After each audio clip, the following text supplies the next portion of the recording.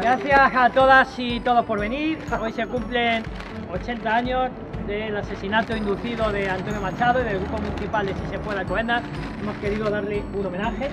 Eh, dicen los libros de estudio actuales, escolares, que Antonio Machado se fue con su familia eh, a Francia y allí murió. No, Antonio Machado se fue exiliado junto con los defensores del Ejército Popular de la República, con los soldados y medio millón más de civiles que estaban defendiendo Cataluña y que anteriormente habían combatido en el Ebro, cruzó la frontera con esa masa humana democrática Francia y allí, durante una noche, también durmió en un vagón con su, con su madre ya muy mayor de 85 años.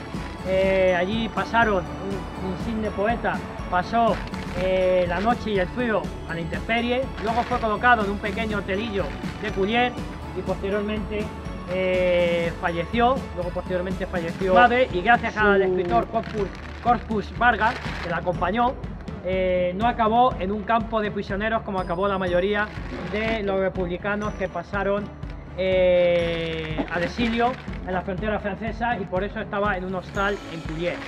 Eh, hemos querido darle este homenaje no solamente por su papel político, que se obvia muchas veces en los colegios, eh, que fue un defensor de la Segunda República y fue un defensor del ejército republicano. Ahí hay una poesía al general Lister, ¿no? Eh, entre otros, que tiene más poesía. y también fue un gran pensador, una persona ética, un profesor de escuela humilde en Soria, en Jaén. Es nacido en Sevilla, pero es un personaje de todos los pueblos que componen esta española. Y por eso hoy le hemos querido eh, dar este homenaje y yo creo que se merece un aplauso el gran Antonio Machado y que viva la República y que viva la, gente como Antonio Machado. A la tercera, ya.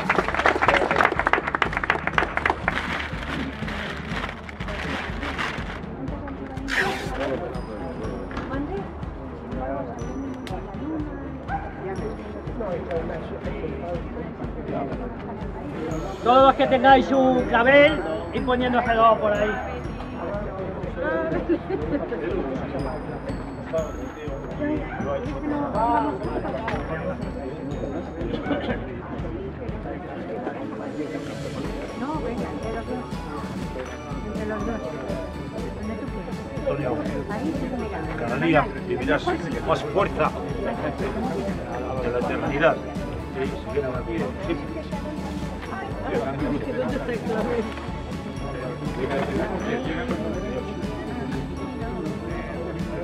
El más grande de la vuelta del 98 No, porque paga el IBE aquí. y Muy bien. es que con Podría ganar. Y aquí estoy yo allí para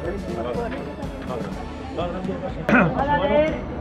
y lo dedicamos a don Antonio diciéndole a un sencillo maestro de escuela, el gran poeta Antonio Machado. Érase que se era y fue un rústico ilustrado maestro de escuela. Traje raído y sombrero sevillano, alpargata y pana era por la ribera del Duero. Ojillos vivos oscuros como su Castilla obrera era maestro de escuela. Era amante de los campos, de los campos de Castilla. En Soria estaba su escuela. Allí donde el Duero pasa paseaba en sus riberas, cantándole al olmo viejo y soñando con su niña. Burro fue de botijero, mula que arrastra la trilla, sol que quema los trigales, luna que alumbra la viña. De los pájaros fue higuera, de gañanes fue costilla, de niños con pan de viejos, de viejos y sus derivas, de amores que nacen muertos, de la muerte de su niña.